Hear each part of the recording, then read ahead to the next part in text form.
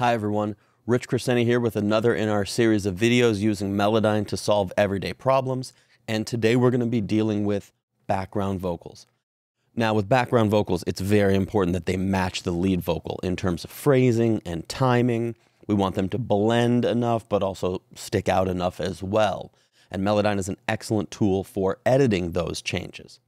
Now, in order for us to understand how best to do that, there's a couple things we got to cover first, and that's mainly how Melodyne lets us look at certain tracks and how it allows us to listen to certain tracks as well. So starting off in the info pane on the left-hand side, we see our background vocal is selected, giving us these orange blobs right here. These orange blobs tell us a lot of information. For example, it tells us it thinks this note is an F sharp. It tells us where the note starts and stops. It tells us the relative amplitude.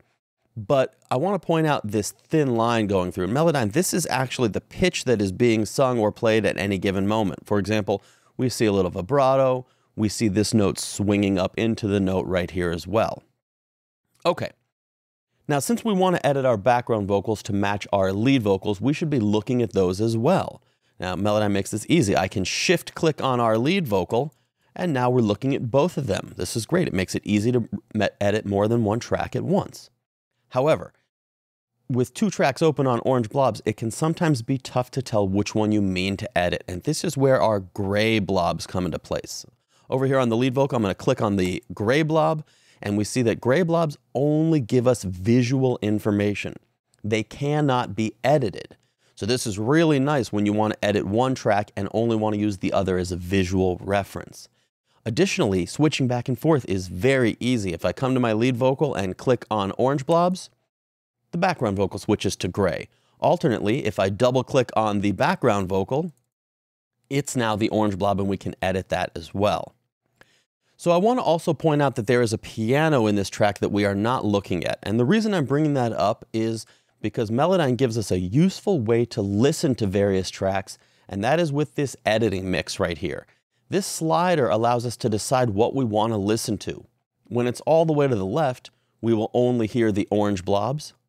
As I move it towards the center, the gray blobs will fade in.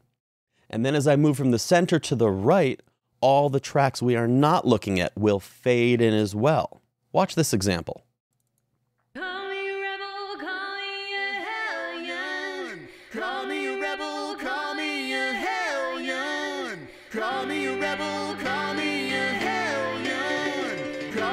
Rebel, call me a hellion. Great. So an easy way to fade the various tracks in and out while still focusing on the background vocal that I'm trying to pay attention to here.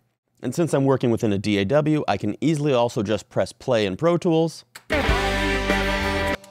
and hear the whole track. So lots of control of what I want to listen to at any given moment. Now, as we said, we're trying to tighten up the timing of this background vocal today to our lead vocal, which means a lot of using this timing tool that I'm using right here. And it gives us some flexibility. So check this out. If I focus on all of these notes, I can easily grab them and move them, like so. Or I can double click on them to quantize them right to the beat. But in this case, I'm not interested in quantizing them right to the beat. What I want to do is tighten up the timing of those compared to the lead vocal. So instead of double clicking on them, moving the whole thing, what I'm going to do is zoom in on them and make sure that the starts and stops and transitions are all at the same time. So I noticed I want this to start a little bit earlier, and just as I scroll through, I'm going to make sure that this note also starts a little bit earlier, right where the transition is right there. I'm going to scroll through and notice there's a little break right here, so I'm also going to make this break start at the same time as that one. And I'm going to make this break start at the same time as that one, and so on through this whole vocal. There's a break right there, but I'm not worried about that one. This transition I want to happen at the exact same time. This transition I want to happen at the exact same time. This one, I'm going to stretch this one out all the way to the end right there. And finally, we come to the end. Now, there's one thing I want to point out real quick right here, and that is that the gray blobs don't show us pitch. So I'm going to temporarily switch to showing us orange blobs on both because the lead vocal, that pitch line extends out right there, and I want that background vocal to match it.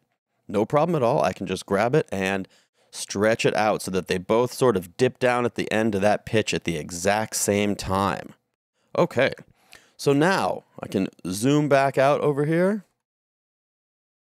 and take a look at our vocal and we can listen to it and check the timing. Rebel, now these were not in bad shape to begin with, however I have tightened up that timing quite a bit right there.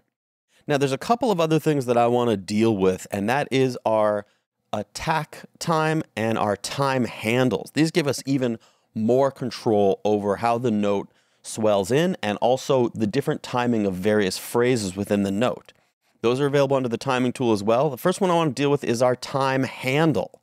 This allows us to insert this in and then stretch out one portion while shortening the other. For example, if I want to make these two vocals swing up at the exact same time, I can set it like that so that both of our singers swing up into the note.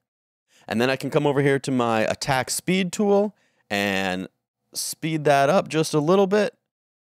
Take go back to our timing tool, start it just like that, and now we've got both of our singers swinging up into that note at the same time. Let's give it a listen. They both swing up into that note at the exact same time right there. Excellent tools for tightening up our background vocals. Hope you've enjoyed.